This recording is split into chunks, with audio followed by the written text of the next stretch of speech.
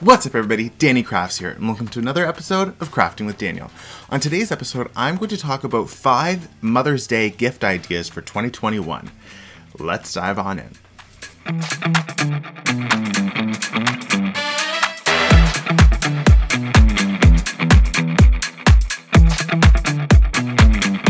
So, just a quick heads up, there will be some self-promoting and uh, shameless product plugging in this video, but there will also be some ideas that I do not make or sell, so just keep that in mind. What's happening? Oh, are you filming? I'm actually filming a Mother's Day gift idea thing. Okay. Can you just copy these for me? Uh-huh. Yep. Just leave them anywhere, it's fine. Thank you. Totally gonna include this in the video, by the way. Is it recording? Yeah.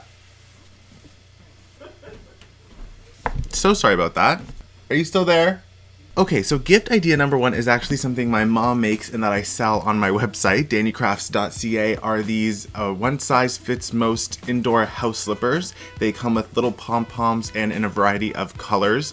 Um, they do fit a variety of sizes. They fit my mother and they also fit me. So this is actually a really cute idea, which what mom doesn't love slippers, you know? Even if you live in a warmer place, but maybe you have air conditioning, house slippers are, are always a nice thing to have around the house. And these are completely handmade from the from the slipper itself to the little pom-pom. Who's a little cozy wozy slippers? Number two is actually this little gift set that I got my mom for her birthday, which was her birthday.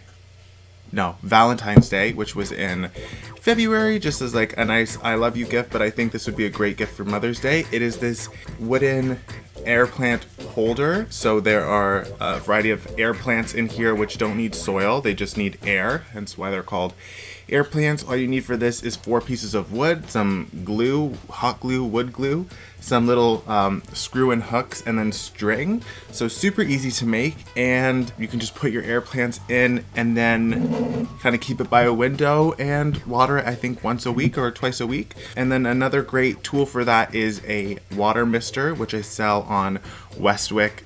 This is the way that I water my oh water my air plants. I just do that a couple of times, uh, once to twice a week. It's a great little gift, maybe a combo set, the plants, this, and then a little mister. Again, you don't need to buy this on my site. You can find a water mister at a lot of stores. Even the dollar store have some like spray bottles. So, gift number two is a little air plant kit. A little different than flowers. I think flowers sometimes get bored. I mean, flowers are always a great idea, but another way to, to like give a great plant that like promotes some air creation, oxygen creation. Idea number three. Now, something I just recently launched on dannycrafts.ca is a candle subscription. You can get a candle every month for $35. It includes free shipping in Canada or uh, one candle every three months, which is $40. It includes a candle. There will be a different other gift every every month, but for your first month, you also get a pair of these matte black wick trimmers, uh, which are great for keeping your candle wicks trimmed so that your candle burns properly. And then I usually also include like a free sample of like a tea light, um, if you like having those around your house. Lots of little handmade candles throughout the year. If you don't need that many candles, you can also give them as gifts, but you can also gift this to your mom for 35 Canadian dollars a month.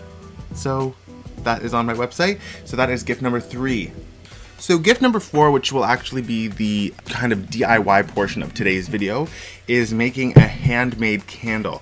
So this is a beautiful jar that I got from a local store in Mississauga. It's actually two parts, a glass inside with a kind of matte, I don't know if it's painted or a different color glass on the outside, and then it has a metal like iridescent base. So it's a gorgeous, gorgeous candle. Not cheap by any means, but it is a perfect candle to do two wicks.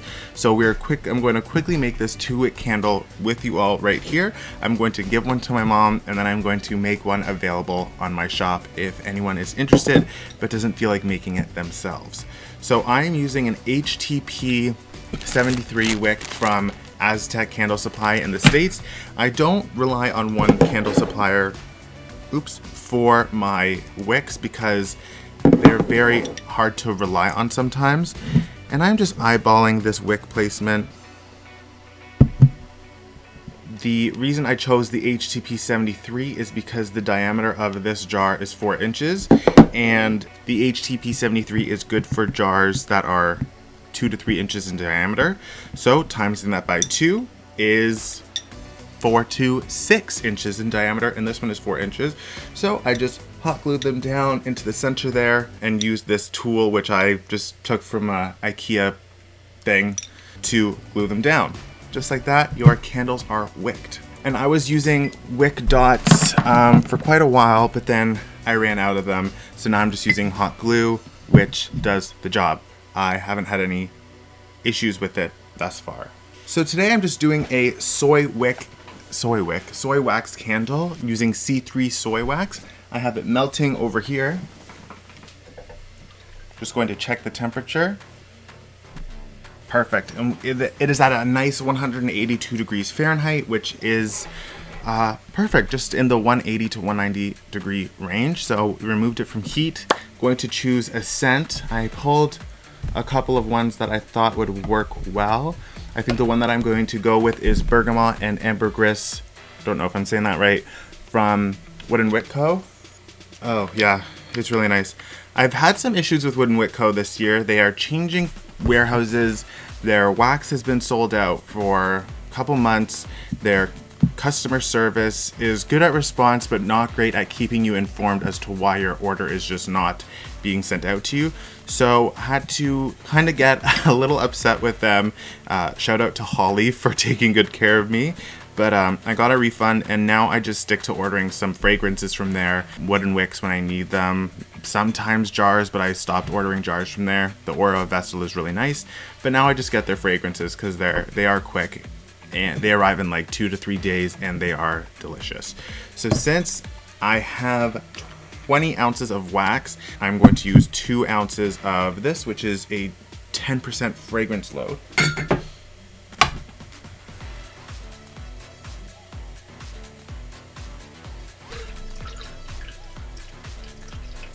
So in my experience, soy wax actually is better to pour and mix at a higher temperature. So I just pour in the fragrance anywhere between 170 to 180 degrees. And by the time it's mixed in, it actually drops the temperature down. See, this is reading 163. And I'm supposed to pour with this certain wax between 160 and 170 degrees Fahrenheit. So not waiting super long to mix and pour is actually pretty okay with soy waxes and also coconut soy waxes. I really don't have a preference between the two. They're both more natural than paraffin. So it's just really on what's, what's more available to you. I'm actually gonna pour into my jar on a scale so that I can see how much it needs.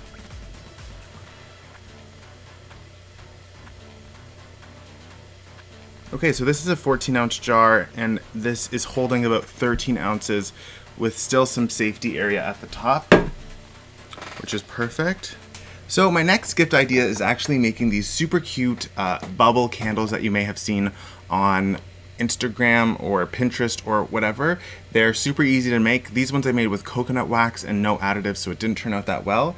So these ones I'm actually mixing in 3% beeswax to make it a bit sturdier, and I'm going to put it in my mold here, which I think will be another cute little little gift for the day. And because I am adding three more ounces of beeswax, I will need to add 0.3 ounces of fragrance to that candle. But all I'm gonna do here is take my mold and my cotton wick here. This is a number one cotton wick from Village Craft and Candle. It's made for pillars. And I have poked a tiny hole at the top of this mold. So I'm just gonna feed this wick through, keeping enough for on both sides and just trimming it like that. So I have wicked my mold. I will do another video on how to do candle molds and stuff like that, but for now I'm just going to speed through this process here. I put sticks on either side to keep it from sinking in this little cup. I don't like to lay these flat because they flatten the bottle, bottom of the mold when I pour them. Oh, sorry, missed a step. I'm actually gonna dip the wick into the wax that's being used just so that it's a little bit lubricated. Okay, now that that's done, I'm just gonna put it back into my little cup here. If you don't have chopsticks, another tool I have made myself to keep wicks centered is two popsicles taped together at one end. It kind of makes like a little thing. I don't even know. So I just use that to center it, and while we wait for the wax to melt, I will show you the fifth gift idea for Mother's Day. Uh, I think something fun to do or a good gift is something you can do together. I love paint by numbers, so I have this paint by number kit from MagicFly, which I actually was gifted from them. They are on Amazon if you want to check them out. I don't typically order from Amazon just because I don't like giving uh, Bezos my money, but MagicFly reached out to me and seemed like a great, good, uh, well priced company, but I will do a full review on this product. So I think paint by numbers or adult coloring books, anything like that would be a nice a nice gift for mom. So that is gift number five. Okay, so I've added my beeswax and my extra fragrance oil. So we're just gonna pour in these last molds here. And I did just get some wax on my new Lululemon pants. All right, so there you have it. Five gift ideas for this Mother's Day in 2021. Hope that was somewhat interesting and helpful and not a complete waste of your time. Uh, if you enjoyed today's video, please like, comment, or subscribe as that always helps a lot on my channel. And stay crafty, everybody. See you next time.